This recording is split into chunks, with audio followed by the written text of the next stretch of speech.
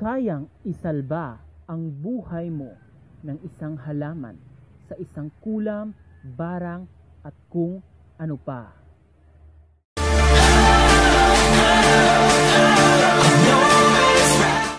Kapuso, kapatid, kapamilya. This is Pano. Welcome to the world of wisdom.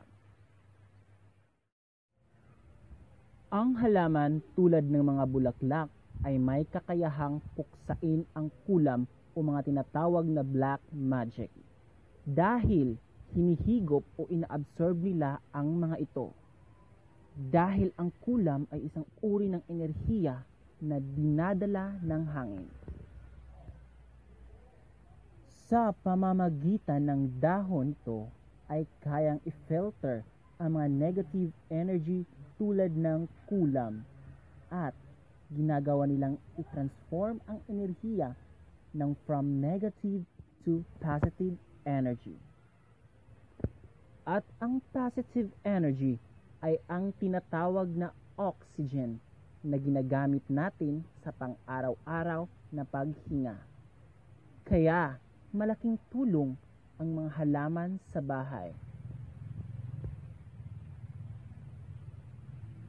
Ang mga halaman ay isa ding maituturing na pangtanggal stress dahil may kakayahan itong i-manifest sa iyong katawan ang positivity tulad ng pagkakaroon ng good mood.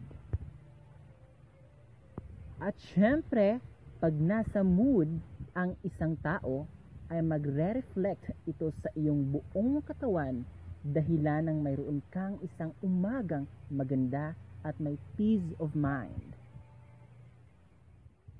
Kaya ka-wisdom, gawing habit ang pagtatanim ng mga halaman dahil mayroon itong magandang epekto na maidudulot sa ating katawan. Dahil ang halaman ay buhay, plant is life.